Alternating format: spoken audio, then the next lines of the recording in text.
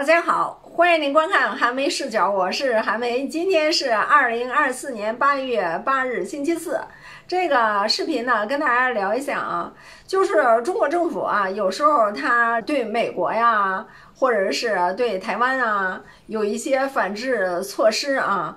有的时候呢，暂时呢，你看不到效果啊，你就会觉得说哈，好像中国搞的这个就是吓唬人呢啊，也没什么作用啊。但是呢，时间长了以后，当它出现效果的时候，你才恍然大悟啊，你就觉得中国政府呢还是挺会玩的啊。那么前两天的时候呢，我们就看到啊，中国对这个美国那个军火商的反制啊，那个制裁。第一轮完了以后呢，没什么效果啊，又进行了第二轮啊。第二轮呢，一开始也没有什么效果，但是呢，这两天呢就传来消息了，对吧？其中的一个军火商呢就跪地求饶了，对不对？那么中国政府呢在对他采取一个措施，那别人都看着呢啊。那么别人看着的时候呢，那对别人来说呢，它就是一个或者警示的作用，或者是榜样的作用，对吧？它就是作用啊。然后呢，就是前一阵儿呢，中国这个六部委啊，出台了一个什么二十二条，对吧？大家呢会觉得说，哎，这二十二条最近不又沉下去了吗？然后又没有什么消息了，然后呢，好像大家就都忘了这件事情了。那么台湾的那些台独分子呢，他们就是该怎么样又怎么样了？其实啊，不是那么回事儿啊，它会有效果的啊。如果没有效果的话呢，中国政府啊就再一次的再进一步的搞一些招儿啊，不是有一个说法叫什么达摩克里斯之剑是吧？就老跟那悬着 哈，老吓唬你啊，它随时有可能掉下来啊。其实呢，我们中国的民间呢也有一句话哈，就是呢，咱们小的时候父母经常说，就是抓着你这个小辫根儿的啊，抓着小辫根儿，时不常的就给你蹬一下，时不常的给你蹬一下哈，就是经常让你知道啊。那么这两天啊，我们看到中国政府呢又有了新的举动了啊。这两天呢，在岛内啊，又引起来一个轰动啊，小辫根儿呢又被蹬了一下，哈，这是怎么回事呢？我们现在就来看一下环球网的这个报道啊。环球网就是说呢，说中国政府的这个官网啊，现在增设了一个专栏啊，什么专栏呢？就是惩治台独顽固分子专栏啊。那么岛内的媒体呢都很关注啊，震慑意味浓厚啊。那么我们来看一下这专栏，其实还不是说就有一个专栏啊。我们来看一下它的内容是什么啊？环球网报道说呢，借最高人民法院、最高人民检察院、公安部、国家安全部、司法部啊，六月联合发布了关于依法惩治台独顽固分子分裂国家、煽动分裂国家犯罪的意见之后呢，这就是那二十二条啊。岛内多家媒体啊，八月七日又注意到了啊，国台办的官网啊，今天也就是七日的时候呢，新增了依法惩治台独顽固分子专栏，包括呢台独顽固分子清单、发言人有关表态等五个板块啊。就是呢，中国政府啊，只要是做了这件事情，哈哈，你就不愁这个台湾是发现不了啊，他们肯定能发现的，包括美国呢也能发现啊，你不用是大张旗鼓的去宣传啊，他们自然会发现啊。那么他发现了以后呢？那么现在我们看到啊，就是说他有这个啊顽固分子清单，还有发言人有关表态啊，就是以后呢，他五个板块啊，这五个板块只要有刷新啊，他们立刻就会得到消息啊，他们立刻就知道了，他们会认真学习的啊。我们来看一下这五个板块啊，都包括什么啊？然后呢，《环球时报》就是说啊。台湾联合报报道称啊，这都是台湾报道哈。进入我国台办的官方网站，可以看见一个题为“依法惩治台独顽固分子”的浮动视窗。除此之外，在专题栏目当中也有显示。点击进入专栏页面，可以看到内有五个板块，分别是什么呢？分别是清单在列的台独顽固分子呢。啊，就随时呢，你就到那儿哈，就能找出来台独顽固分子都有谁啊？以前被列出来的都有谁？那么第二个呢，就是中共中央台办国务院台办发言人的有关表态啊。以后呢就一站式的啊，在这儿呢肯定能找到。然后呢是法律文件啊，然后第四个板块呢就是举报清单在列的台独顽固分子线索和罪行啊。如果你发现啊这些台独顽固分子啊，他们有哪一些犯罪的线索或者罪行的话呢，你就可以啊到这个板块里面来举报啊。还有呢就是举报犯罪严重的新的台独顽固分子啊。如果你发现有新的台独顽固分子的话呢，那么你就可以举报啊，并且呢还提供了用于举报台独顽固分子的一个邮箱啊。你点击那邮箱呢，然后你就可以联系上他们了啊，绝对没得错。然后呢，这个《环球时报》报道说啊，其中进入清单在列的台独顽固分子的页面啊，可以看到中共中央台办、国务院台办啊，八月一日发文，就列出来了苏贞昌、尤锡坤、吴钊燮、肖美琴、顾立雄、蔡其昌、柯建明、林飞帆。陈娇华、王定宇啊，这十个人的名单啊，那就是说呢，在这个板块里面，现在呢所公布的列出来的呢是这十个人。然后呢，《环球时报》说啊，《联合报》还注意到啊，这也是台湾的一个报纸吧，他们也注意到了，说该专栏页将“台独”这两个字儿哈，用绿色字体加粗处理。这是什么意思？为什么是绿色字体加粗处理呢？就是说是绿营啊，这些台独呢都是绿营的啊，这有点就是暗示国民党蓝营这边呢是安全的，不是针对你们的啊，是针对绿营的。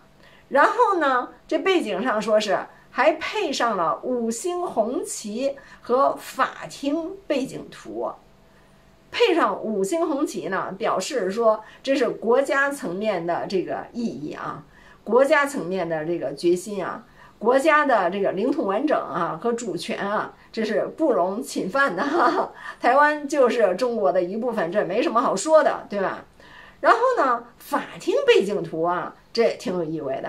我也看到一些台湾的就在讨论这件事情啊，法庭背景图是什么意思呢？其实呢。就是意味着呢，就这些人将会受到中国大陆法庭的审判，然后呢，台湾也普遍的认为啊，这五个板块啊，震慑意味是非常的浓厚。然后《环球时报》接着说啊，中天新闻网、自由时报等台媒啊，也发布了相关的消息，并分别以国台办官网增台独顽固分子专栏。肖美琴、苏贞昌等十人被置顶，国台办设惩治台独顽固分子专栏，列入肖美琴、苏贞昌等十人为题进行报道啊。以前的时候，他们都会说啊，很荣幸啊什么的啊，说这种片儿汤话啊。他们虽然嘴上这么说呢，心里面其实也是非常害怕的啊。尤其是像这个肖美琴啊，你说这活儿哈，现在正在干哈，干还是不干呢？是不是？还不像那个苏贞昌啊什么的那些啊，如果想收手的话呢，哎，就可以收手，对吧？或者是啊，想跑路哈，就可以跑路。所谓是无官一身轻，对不对？那肖美琴呢？这刚选上啊啊，咋整？不过我给他们指一路啊，掉头啊，回头是岸呢，对不对？然后呢，再看这个《环球时报》又说啊，此外啊，《联合报》就引述了香港大公文汇网报道称，公安部网站也在专栏中发布了依法惩治台独顽固分子一文啊。公安部也配合啊，报道称以微知著，由小见大。国台办、公安部、政府网站的上述新变化，表明了大陆方面对依法惩治台独顽固分子的高度重视，再次向台独顽固分子敲响警钟。环球网说啊，台湾联合报还报道称。关于依法惩治台独顽固分子、分裂国家、煽动分裂国家犯罪的意见共二十二条。对犯分裂国家罪、危害特别严重的，可以判处死刑；对首要分子处无期徒刑或十年以上有期徒刑等。在此之下。过去已被大陆点名列为台独顽固分子的肖美琴、吴钊燮等十人，都很可能成为被审判的对象啊！就是台湾的媒体呢是这么解读的啊，就是说这十个人啊很有可能啊随时被审判，而且呢被缺席审判。如果给你判了死刑的话呢，那么就随时执行了啊，定点清除就是。执行判决的一个阶段，然后呢，国务院台办发言人陈斌华此前表示啊，运用刑事司法手段惩处分裂国家犯罪分子，维护国家核心利益是世界各国通行的做法。台湾是中国的一部分，国家绝不允许台独分裂势力以任何的名义、任何的方式把台湾从中国分裂出去。陈明华称，依法惩治台独顽固分子、分裂国家、煽动分裂国家犯罪，合情、合理、合法。意见也就是二十二条啊，从标题到正文都清晰地指明，刑事惩治措施只针对极少数的涉毒言行恶劣、谋独活动猖獗的顽固分子。以及他们实施的分裂国家、煽动分裂国家犯罪，不涉及广大台湾同胞。陈明华称，台独是导致台湾兵凶战危、民众利益受损的最大祸源。只有依法严惩台独分裂犯罪，台湾同胞才能安享两岸关系和平发展红利。才能过上和平安宁的好日子。好，这就是这个《环球时报》啊，就这件事情所发布的这篇文章啊。我认为呢，与之前所不同的呢，就是啊，这些人有可能离受到大陆这个法院的审判的时间呀要快了。这就是呢，又进了一步。这个视频呢，跟大家来聊一下关于英国的这个暴乱啊。英国的暴乱呢，已经持续了好几天了。它主要是那些个反移民的人啊，主题就是反移民。引发这个抗议的事件呢，就是啊，前一阵子在一个小孩的舞蹈班里面所发生的砍人事件啊。那么现在哈，因为这些人是这个反移民的，所以呢，这些个移民啊，就是他们反的对象啊。那么现在我看到呢，因为这个抗议示威活动呢，已经发展成了暴乱啊，到处打砸烧啊，甚至抢啊，所以啊，这些移民呢，都岌岌可危啊。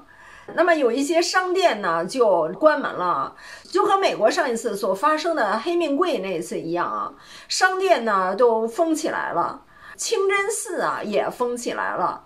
那么特别有意思的是什么呢？我看到这个美国之音报道哈。就是在二零一九年香港暴乱的时候呢，那些黑豹啊，后来就跑到英国去以后呢，哎，这些人现在也成了这些反移民暴乱的攻击对象啊！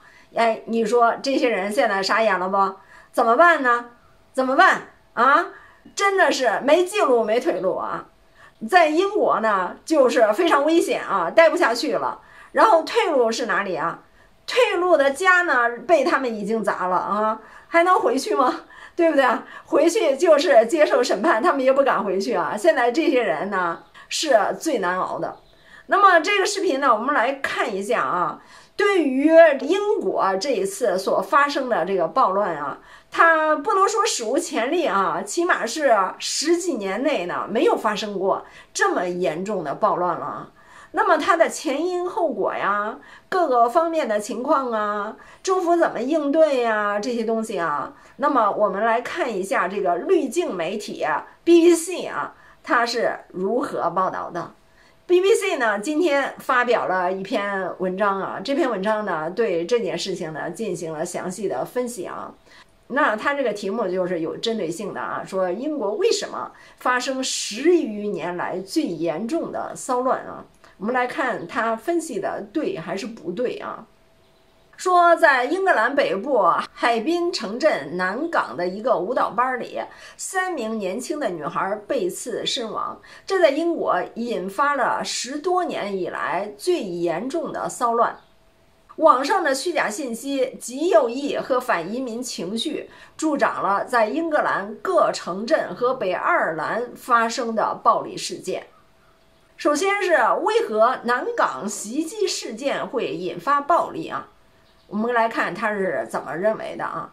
他说呢，七月二十九日，在一场以泰勒·斯维夫特为主题的舞蹈和瑜伽活动中，六岁的贝贝金、七岁的艾尔西和九岁的爱丽丝在一场持刀袭击当中丧生，另有八名儿童和两名成人受伤。当天晚些时候呢，警方表示，他们已经逮捕了一名来自附近村庄的十七岁的少年，并称不认为袭击与恐怖主义活动有关。袭击发生以后，社交媒体上几乎立即就有帖子错误地猜疑嫌疑人是2023年乘船抵达英国的寻求庇护者。其中一个人名被广为误传，还有毫无根据的传言说这个人是穆斯林。据 BBC 和其他的媒体报道，事实上该嫌疑人出生于威尔士，父母是卢旺达人。警方呼吁公众不要散布未经证实的猜测和虚假信息。啊，说到这儿呢，我来插一句哈，我在 Twitter 里面看有人呢在 Twitter 里面发这个视频啊，就英国的警方啊登门抓人啊，英国的警察呢就进去以后哈，这个人就开始录像了啊，就通知他说呢你被逮捕了。他说为什么呀？因为你在 Twitter 里面发布煽动性的言论。然后说我发布什么煽动性的言论了？他说去了警察局再说，你知道吗？以前的时候，在推特里面，特别爱发啊，说中国的警方啊上门抓人的时候呢，经常发这样的偷拍的视频啊。现在啊，就几乎是同样的内容呢，是英国人发的啊，特别有意思啊。我不知道那些反贼们现在还说什么啊。然后 BBC 说啊，第二天晚上，一千多人参加了在南港为受害者举行的守夜活动。随后，当地一座清真寺附近发生了暴力事件，人们向清真寺和警察投掷砖块、瓶子和其他的杂物，一辆警车被点燃，二十七名警察被送往医院。骚乱遭到了广泛谴责。代表当地的议员赫尔利说：“暴徒从外地前往该镇，试图利用三名儿童之死达到自己的政治目的。”而首相斯塔默爵士则谴责这些人是在南港街头劫掠的暴徒。这是这个暴力哈为何会发生啊？就是有人在造谣啊，煽动。然后呢，暴力如何蔓延啊？他说呢，在社交应用程序 Telegram 上，当地反移民群组对集会进行了讨论。警方称，暴力事件据信涉及现已解散的极右翼组织“捍卫英国联盟”的支持者。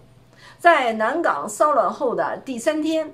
伦敦、哈特尔普和曼彻斯特也爆发了暴力抗议活动，警方将其与南港事件联系在一起。在整周内，还发生了更多的抗议活动，其中许多活动的目标是清真寺和接受寻求移民庇护者的酒店。虽然没有单一团体在组织活动，但是 BBC。对主流社交媒体和小型公共团体活动的分析表明，社交媒体上有影响力的博主推动人们聚集参与抗议的模式清晰可见。啊，他分析别人很会分析啊。当初香港那个暴乱，咱们也是这么分析的，但是他们可不认可啊。他们把那些人呢都搞到英国去啊，他们表示和这些人站在一起啊。现在啊，他也会分析，对吧？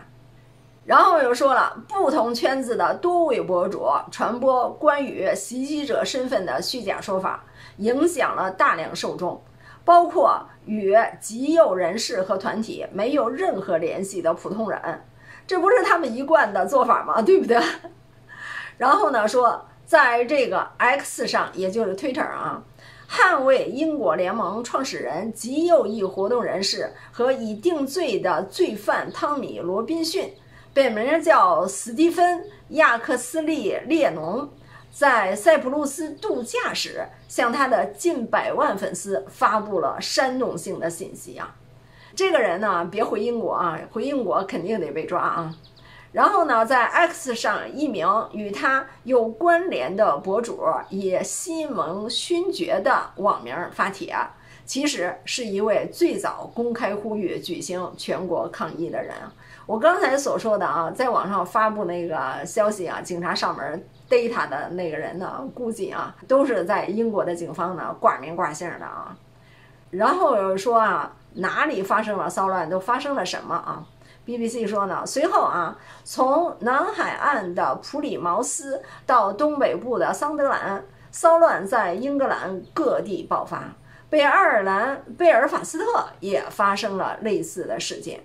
人群袭击了清真寺和寻求庇护者的住所，汽车和包括图书馆在内的建筑物被放火焚烧，商店也遭到了袭击啊！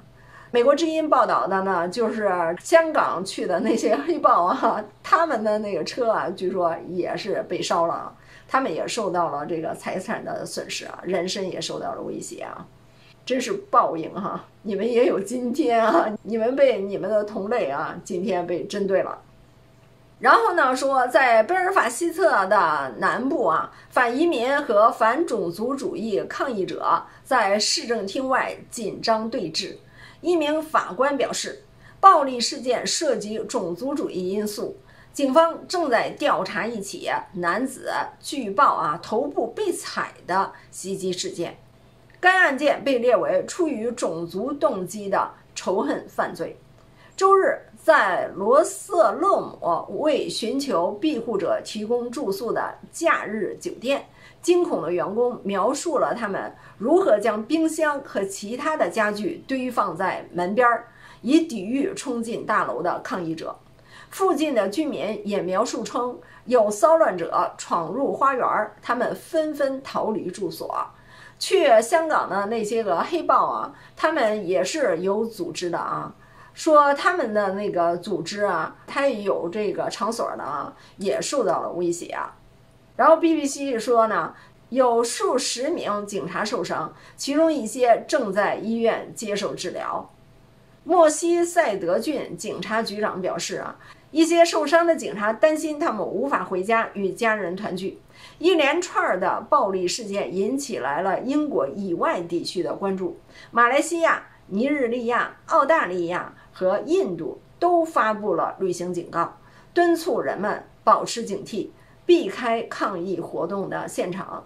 中国大使馆我看到呢也发布了警告啊，一方面呢要求大家要远离这些个地点，另外一方面呢要求大家如果遇到了麻烦的话呢，及时联系大使馆。然后 BBC 呢又分析啊，谁参与了英国的骚乱啊？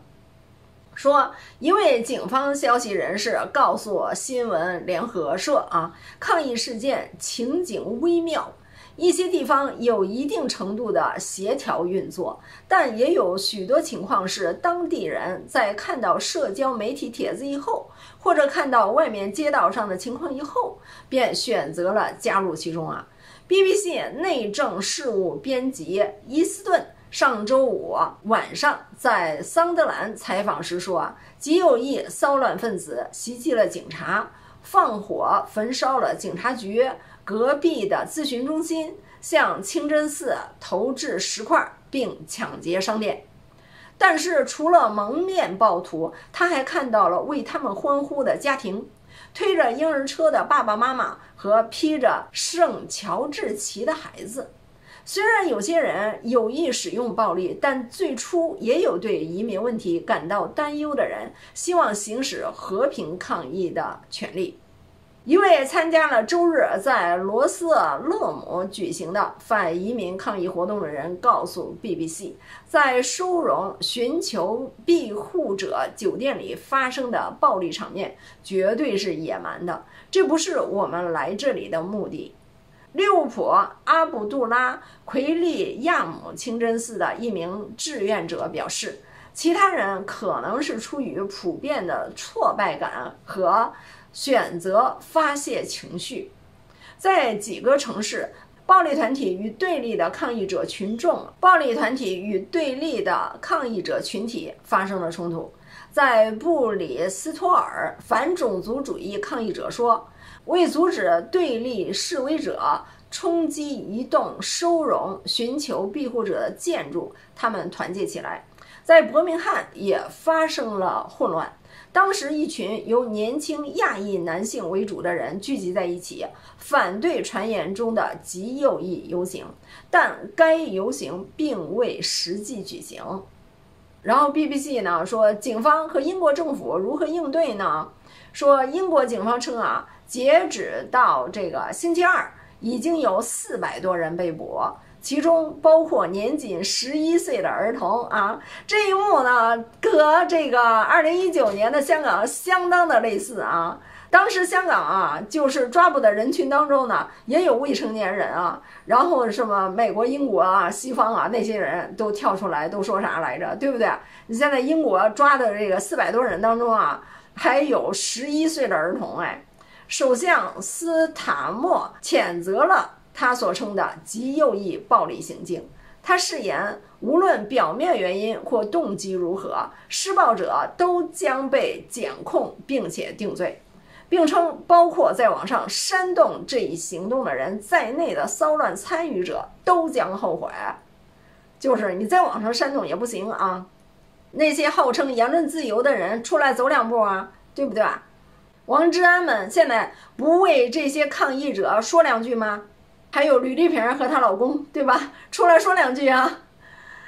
好，我们继续看啊。BBC 说，英国政府表示啊，一支由专业人员组成的常备军将应对骚乱，警方将共享有关暴力团体的情报。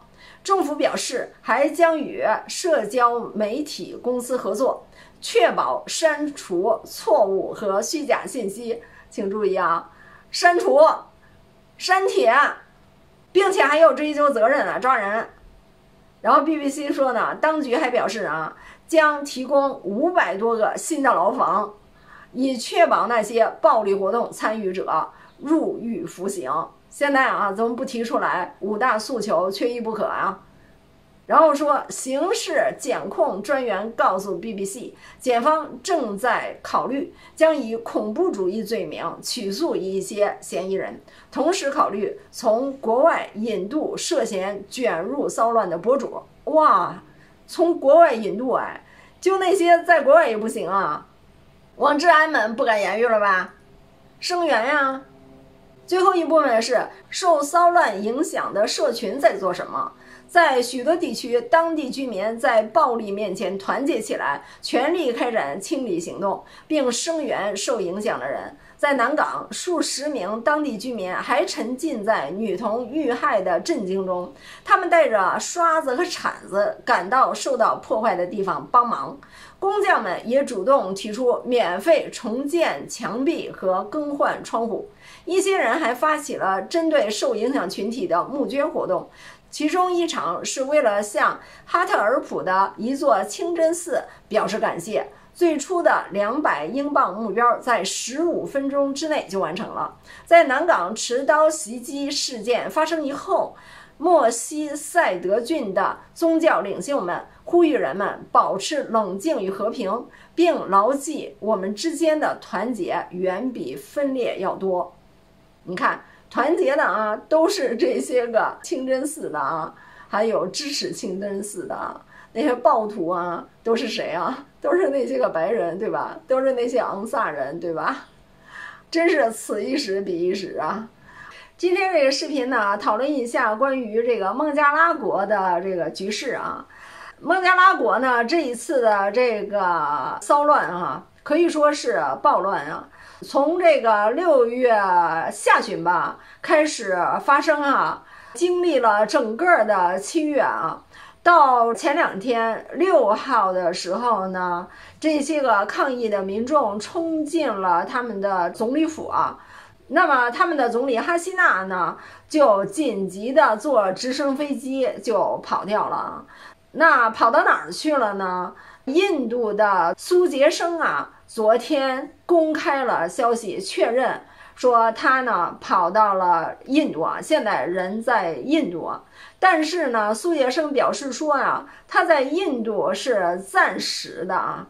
并且呢，有印度的媒体说说这个哈希娜呢，他本来要去英国的，说他呢家里有很多人都在英国，所以呢他是想去英国，但是呢说英国排除了给哈希娜提供庇护的可能性啊。所以呢，他不得不就去了印度啊，而且呢，会延长在印度逗留的这个时间啊。可以说，这个哈希娜呢，真的是挺尴尬的啊。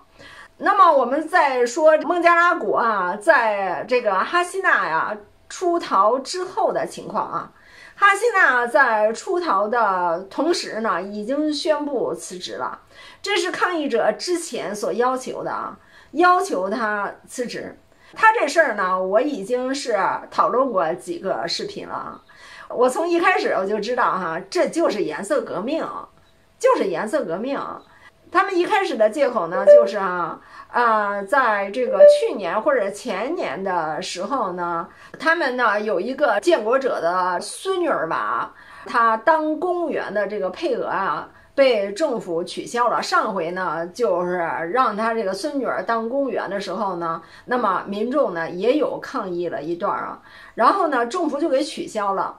在今年六月份的时候呢，他们的法庭啊又做了一个决定啊，就取消了政府取消的决定啊，就是说呢，他那个孙女儿啊当公务员这个仍然是有效的。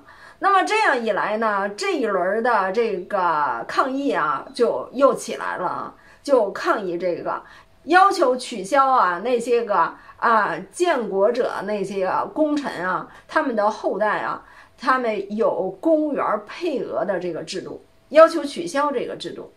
那么后来呢，政府就说哈，宣布取消这个制度的时候呢，那这抗议者就又变了啊，说那个不重要，那个不重要啊。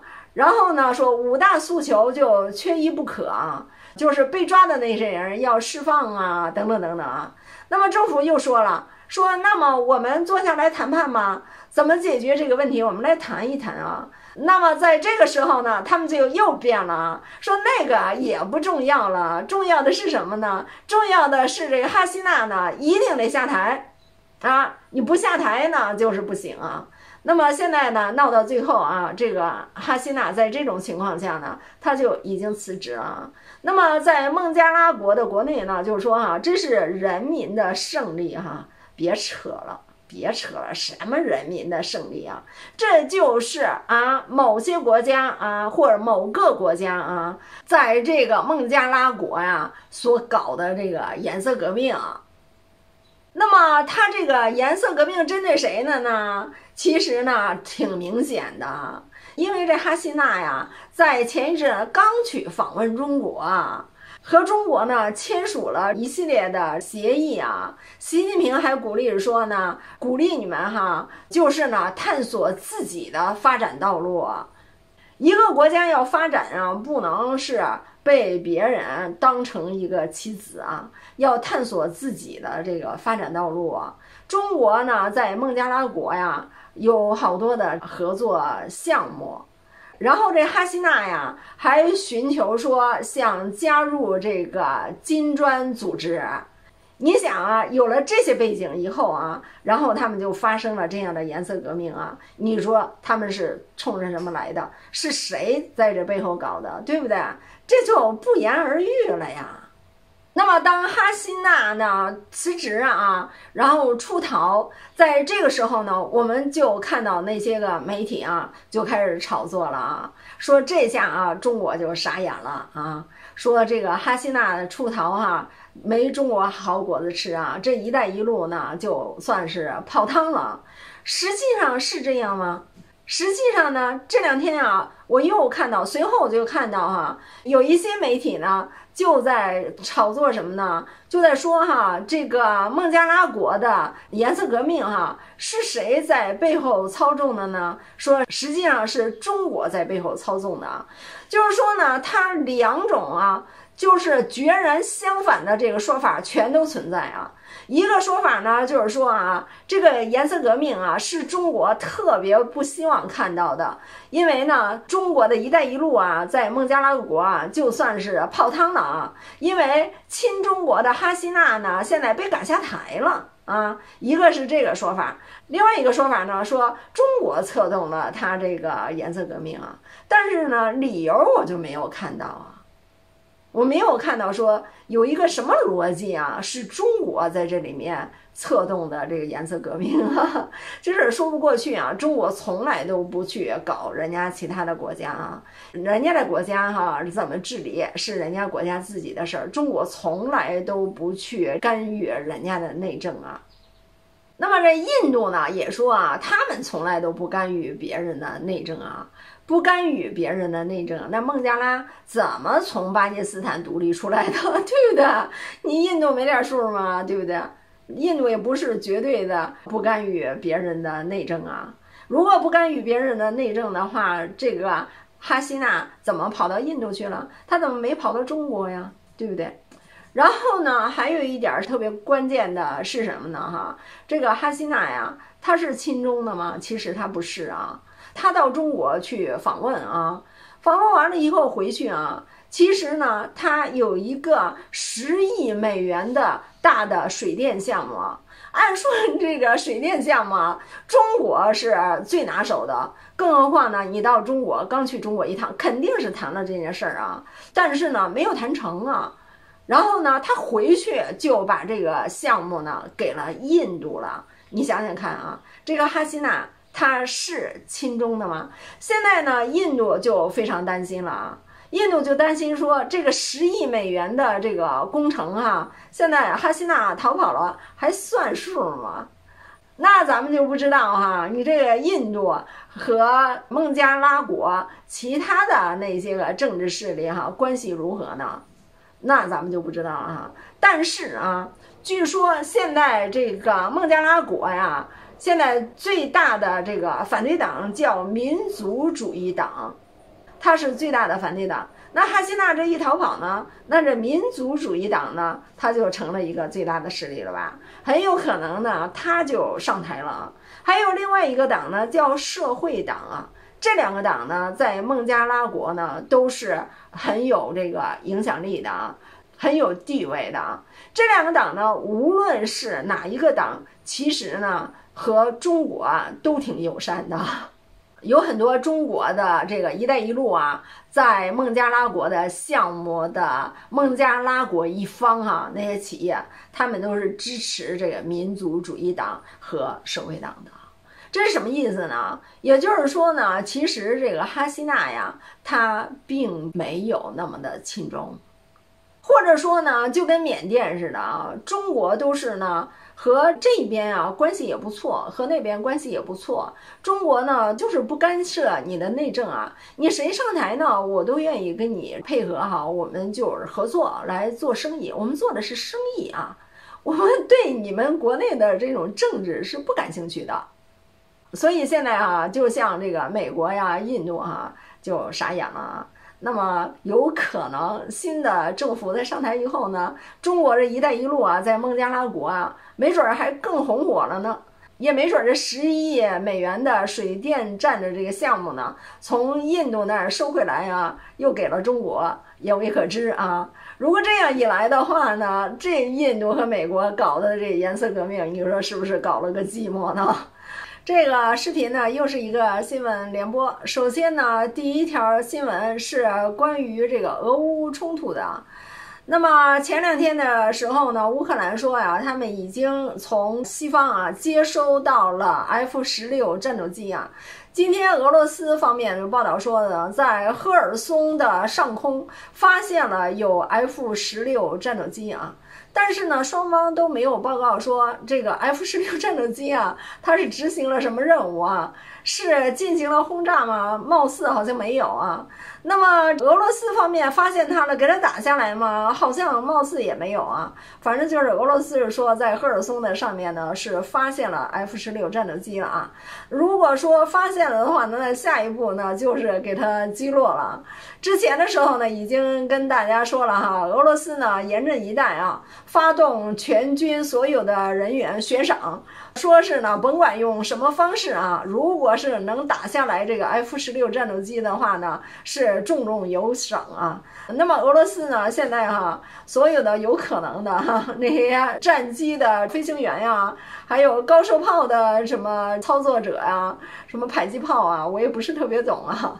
以前的时候，我们看中国的那些个战争片里面，我们看到呢，以前咱们中国共产党的军队哈，以前的时候呢，没有。那个力量的时候，就拿那个机枪啊，都曾经打下过来这个飞机，对不对？只要是你敢做哈，就没有做不到的，对吧？不过也分谁了啊，就是咱们的解放军能做到，也不代表着人人都能做到，对吧？然后下一个新闻呢，就是现在乌克兰哈，它有样学样啊。就是这个以色列做的事情，他发现哎没有什么后果，那是不是以色列能做，我也能做呢？哈，那么昨天的时候呢，俄罗斯啊就发布了一个消息啊，俄罗斯呢有一个电视台叫俄罗斯二十四电视台，那么这个电视台呢有一个战地记者啊，这个战地记者估计呢是相当优秀啊。那么他呢，主要是在俄乌前线进行报道。结果呢，昨天的时候啊，他所驾驶的那个车哈就被乌克兰的军队给袭击了啊。这个记者呢受了重伤。今天呢，我看到俄罗斯方面呢发布的消息啊，说这个记者啊已经转移到大的医院里面救治啊，情况已经稳定下来了，他还活着啊。这个消息出来以后呢，我看到啊，中国就有一些这个舔乌派，对吧？那些舔乌派啊，现在就像撒了气儿的皮球似的啊，我都不明白啊，关于俄乌冲突的这个哈。你那么上心干什么呀？乌克兰是你的主子吗？还是怎么样啊？我不知道有些人为什么那么上心啊？他们呢，其实就是恨国党啊。那我更加不明白了，自己的祖国啊，你怎么这么仇恨呢？怎么中国好了你就不舒服呀？跟中国关系好的这个国家好了你也不舒服呀？真的是啊，真的是，我就特别的不明白，尤其是那些在国内的呀。我回国的时候呢，我也接触过那些法轮功啊。那法轮功呢，一天到晚呢就是在骂共产党啊，说是什么要保命啊，赶紧退共啊，什么之类的啊这些。那么你在国内的时候呢，我看到有些人一天到晚的搞这个法轮功，反对共产党。但是啊，他们当接收政府发的福利的时候啊，他们一点都不手软啊。各种的福利啊，他也享受啊，对吧？那你享受福利的时候，你怎么不说你不要啊？对不对？你怎么不反对呀？也就是说呢，乌克兰现在跟这个以色列学会了。按说呢，在前线啊，记者不应该作为目标的呀，但是以色列从来都不管啊。记者呀，说联合国的人员都一概不管，红十字会什么的，一概都不管，难民救助的不管，难民不管，什么都不管。那么现在乌克兰呢也学会了，就是呢记者哈，明显的他对这个记者的攻击呢，就是把他作为目标的。那俄罗斯呢对这件事情也进行了谴责，但是谴责有用吗？谴责是没有用的。另外一个消息呢，就是乌克兰哈，就是另辟战场啊，现在在哈尔科夫的这个西北方向啊，在这个俄乌边境上就搞事儿啊，部署了一些个兵力呢，在攻击俄罗斯的边境的那个州哈，是另外一个州啊，不是以前所说的州，那名字我也记不住啊。总之呢，他部署了这个兵力呢，没占着什么便宜啊。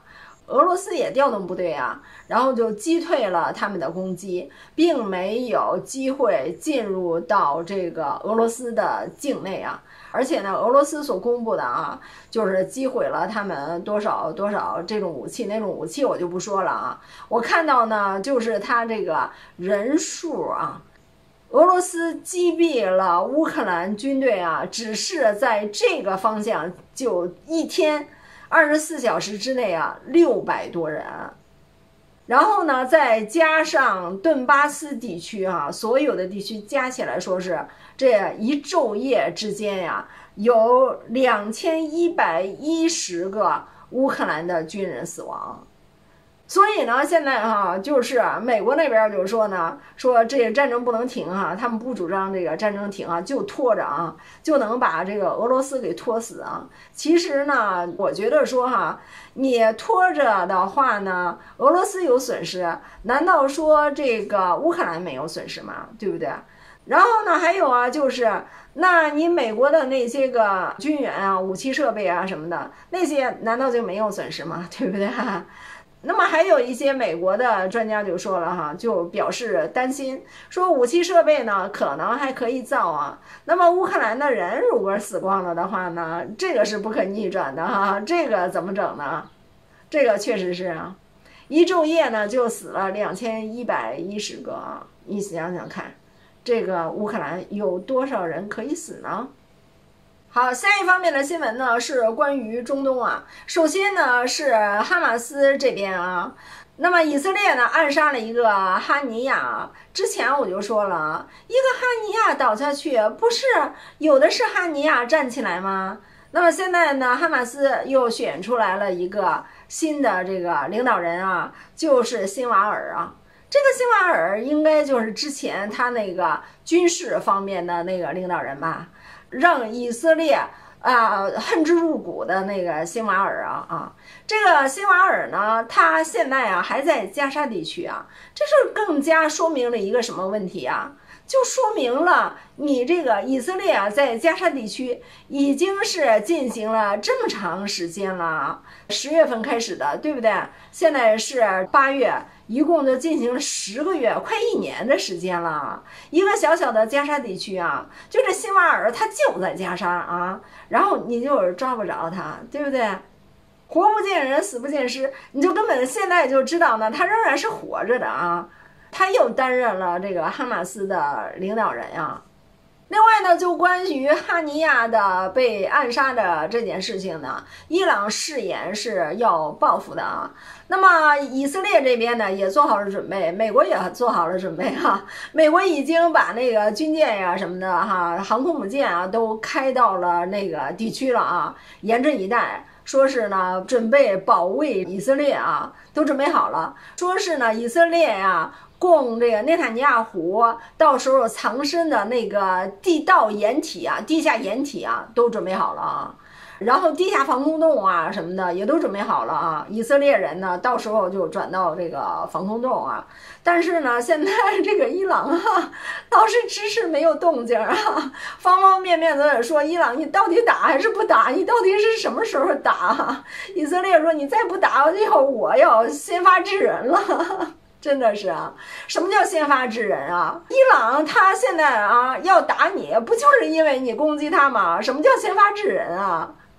这个以色列真有意思哈，还先发制人，就是因为你打了人家呀，你先出了手，人家现在要还手啊。那么同时呢，我们呢也看到这伊朗呢现在和方方面面呢正在接触哈。方方面面都安排好啊，等安排好了以后，然后再打啊。那么特别有意思的就是呢，俄罗斯啊，俄罗斯派了这个前国防部长绍伊古啊，到了中东去了呀。你想想哈，到伊朗去哈，为什么是绍伊古啊，而不是外长拉夫罗夫啊？你像那个埃及呀，还有约旦呀，去的都是外交部长啊。那么俄罗斯派的是绍伊古啊。那么绍伊古去啊，和拉夫罗夫有什么不同呢？那么拉夫罗夫能起的作用，绍伊古可以起啊，但是绍伊古所起的作用，拉夫罗夫起不了。这个呢，就是军事方面呀，对吧？这个拉夫罗夫起不了，所以呢，就派这个绍伊古去啊，肯定进行一些军事方面的一些个商谈啊、部署啊之类的，对吧？另外呢，我还看到有报道说，绍伊古去了伊朗以后啊，还去了胡塞武装那儿啊，给胡塞武装这个撑腰打气啊。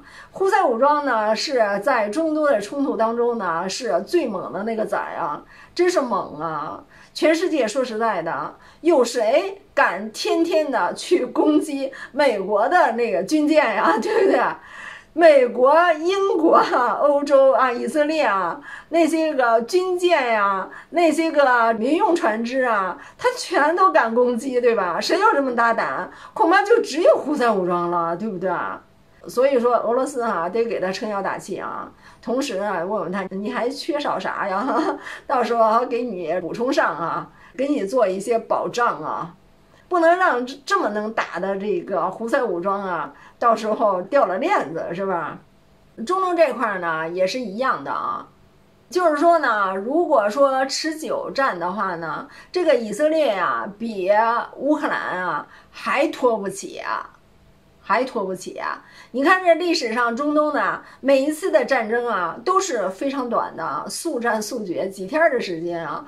这次啊一打就打了这个十个月啊，就连他们国内的那些哈免除兵役的那帮人啊，那帮正经的犹太人啊，他们都要服兵役了，取消了他们的这个豁免权，对不对啊？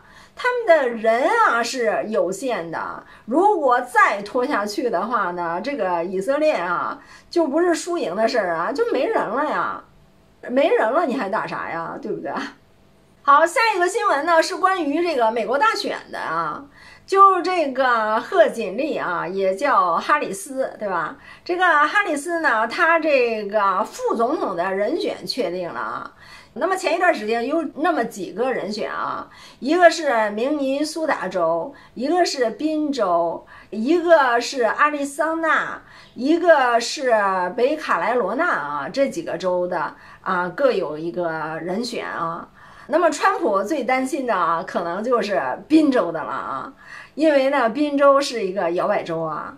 如果说这个贺锦丽啊能拿下来宾州的话呢，那基本上呢胜算的把握就更大了。这不是川普想看到的。但是贺锦丽呢，现在他选了一个明尼苏达州的那个州长啊，这个州长哎挺有意思的啊。这个州长呢，他原来是一个老师啊，后来呢是一个教练，好像啊。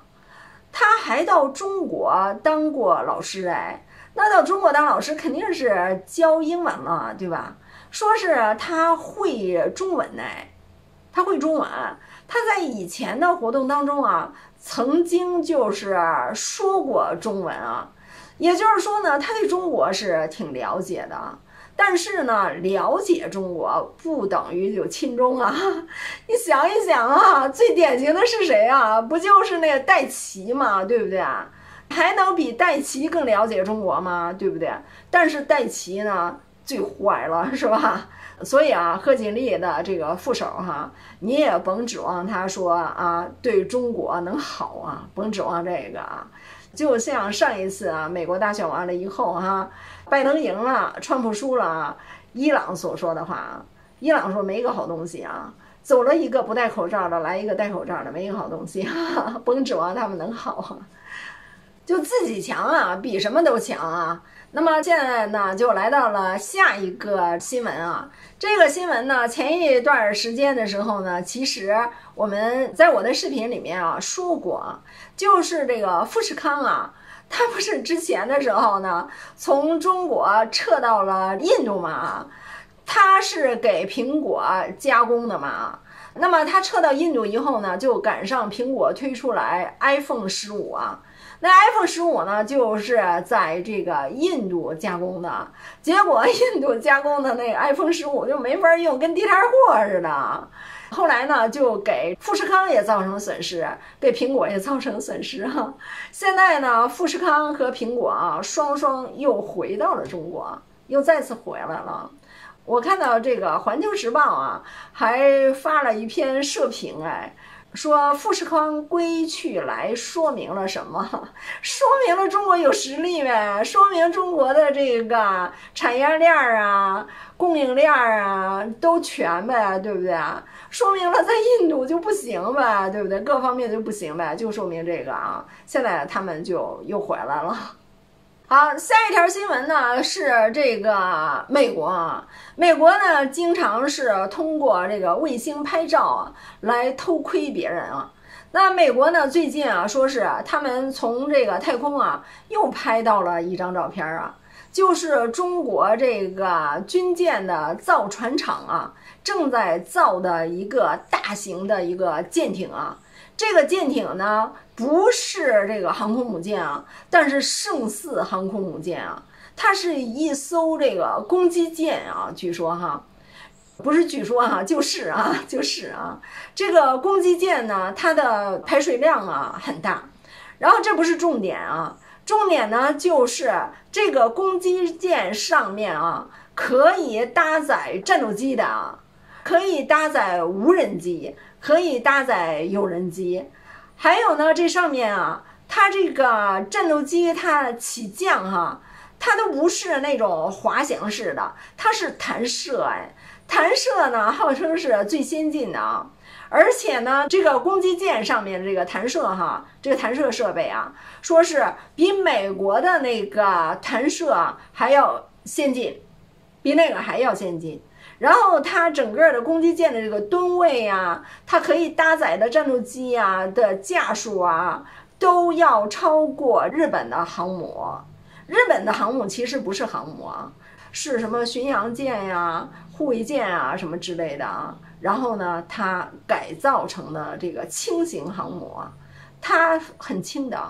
中国的这个攻击舰啊，比日本的那个航母啊。要强大非常非常多啊，不知道多少倍啊！这个照片儿美国拍到手以后呢，让美国惊出一身冷汗啊，说中国现在造船的技术真的是太强了，太可怕了。好，最后一条新闻呢，就让这个。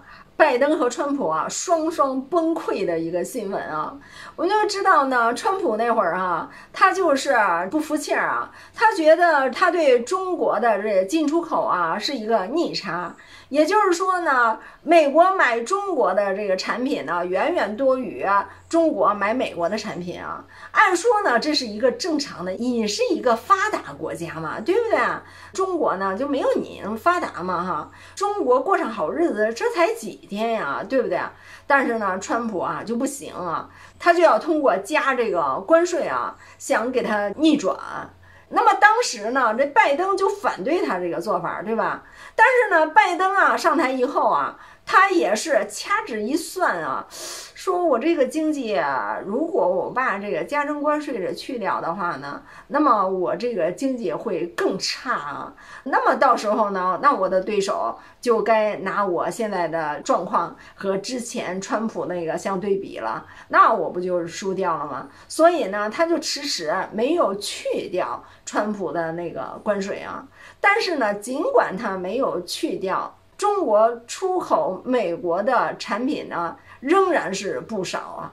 今天呢，我想说的是什么呢？